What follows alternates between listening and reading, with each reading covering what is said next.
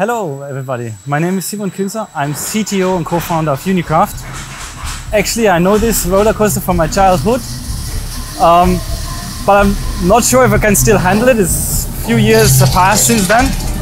Uh, while we're going up, I would like to speak with you why our cloud stacks are currently so terrible.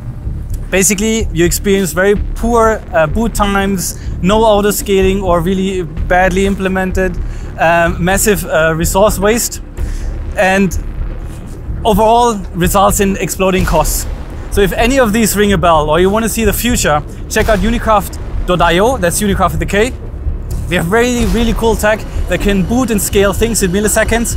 We can fit thousands of servers, uh, sorry, of virtual machines on a single server and it's really easy to use. So check out unikraft.io and now wish me luck because we are going down now and thanks a lot for listening. And here we go. Whoa! Yeah, I remember this one. Oh! awesome. Yeah. Yeah. Oh, You really feel the physics. Nice.